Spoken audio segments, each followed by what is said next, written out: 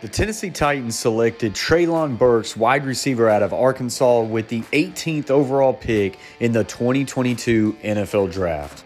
This pick carried a lot of attention as the Tennessee Titans traded A.J. Brown to move up in the draft to select a Treylon Burks.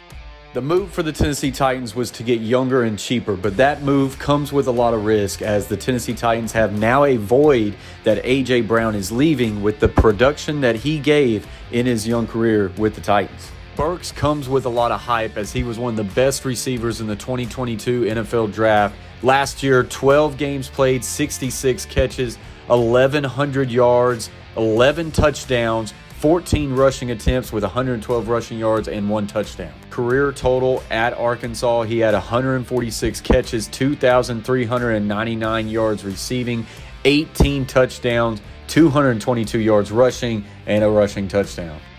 It is without question that Treylon Burks comes with a lot of talent. But should the Tennessee Titans fans be concerned with the early reports coming out of Titans camp? The early reports out of the Tennessee Titans camp is that Treylon Burks has showed up maybe a little bit out of shape and has had an issue being able to stay on the practice field. This clip by A to Z Sports shows Burks, hands on his hips, having to go back into the building, leaving practice. Then today in practice, Paul Kuharsky tweeted out Burks left twice and returned twice. No idea what's up. It's cool and cloudy. So, what's wrong with Treylon Burks? Well, reporters really don't know and they're fishing for anything. Listen to this reporter asking Mike Vrabel about allergies. Sorry? Does he have allergies? I, I, am not going to talk about anybody's allergies to pollen right now. I think everybody's got allergies. So, what's going on?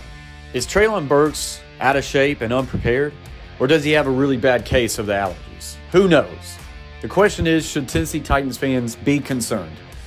Well, in my opinion, it's not a good look. It's not a good look for an NFL first round draft pick to come in and have these issues right off the bat, not being able to stay on the field. Should the Tennessee Titans fans be panicking and saying he's a 100% bust and they've done a horrible deal getting rid of A.J. Brown? No, they should not go to that extreme as of right now. Treylon Burks comes in with a lot of talent and a lot of optimism coming for the 2022 NFL season. Yes, he's got big shoes to fill as far as replacing A.J. Brown, but that's not to his concern. All Treylon Burks needs to worry about is doing the best he can as a professional and being the best version of Treylon Burks. If he can do that, the Tennessee Titans will be in good shape. Let me know in the comments section right now, guys. What are your concerns? Are you worried about this, or is this just a first couple bad practices? If you like content like this, guys, don't forget hit that like button and subscribe to the Coach Plays. Peace.